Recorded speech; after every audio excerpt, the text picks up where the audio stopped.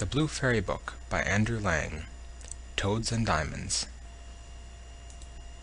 There was once upon a time a widow who had two daughters. The eldest was so much like her in the face and humor that whoever looked upon the daughter saw the mother. They were both so disagreeable and so proud that there was no living with them. The youngest, who was the very picture of her father for courtesy and sweetness of temper, was withal one of the most beautiful girls ever seen. As people naturally love their own likeness, this mother even doted on her eldest daughter and at the same time had a horrible aversion for the youngest. She made her eat in the kitchen and work continually. Among other things, this poor child was forced twice a day to draw water above a mile and a half off the house and bring home a pitcher full of it. One day, as she was at this fountain, there came to her a poor woman, who begged of her to let her drink. "Oh, I, with all my heart, Goody," said this pretty little girl, and rinsing immediately the pitcher, she took up some water from the clearest place of the fountain and gave it to her, holding up the pitcher all the while, that she might drink the easier. The good woman, having drunk, said to her, "You are so very pretty, my dear, so good and so mannerly, that I cannot help giving you a gift for this was a fairy, who had taken the form of a poor country woman to see how far the civility and good manners of this pretty girl would go. I will give you for a gift, continued the fairy, that at every word you speak there shall come out of your mouth either a flower or a jewel. When this pretty girl came home, her mother scolded her for staying so long at the fountain. I beg your pardon, mamma, said the poor girl, for not making more haste and in speaking these words there came out of her mouth two roses, two pearls, and two diamonds.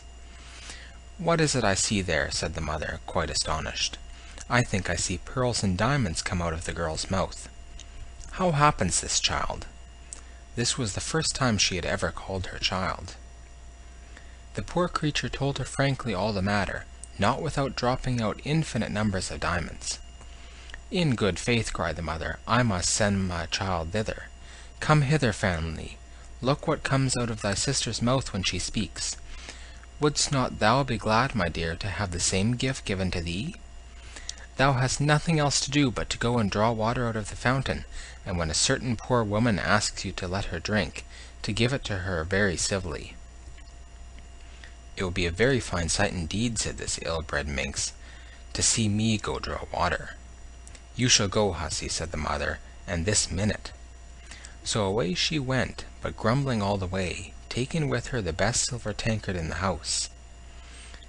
She was no sooner at the fountain than she saw coming out of the wood a lady most gloriously dressed, who came up to her and asked to drink. This was, you must know, the very fairy who appeared to her sister, but now had taken the air and dress of a princess, to see how far this girl's rudeness would go. Am I come hither, said the proud saucy one, to serve you with water, pray? I suppose the silver tankard was brought purely for your ladyship. Was it? However, you may drink out of it, if you have a fancy. You are not over and above mannerly, answered the fairy, without putting herself in a passion. Well then, since you have so little breeding, and are also so disobliging, I give for you a gift that at every word you speak there shall come out of your mouth a snake or a toad. So soon as her mother saw her coming, she cried out, Well, daughter? Well, mother, answered the pert hussy, throwing out of her mouth two vipers and two toads. Oh, mercy, cried the mother, what is it I see? Oh, it is that wretch her sister who has occasioned all this, but she shall pay for it. And immediately she ran to beat her. The poor child fled away from her and went to hide herself in the forest, but not far from thence.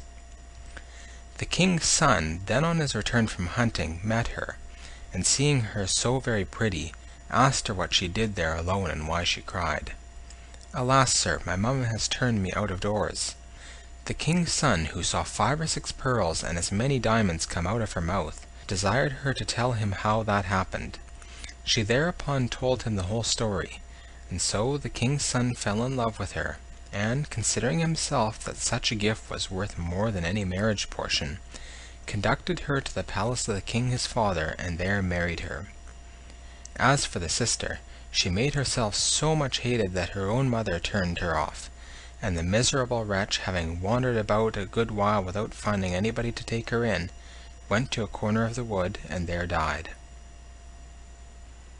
Footnote Written by Charles Perrault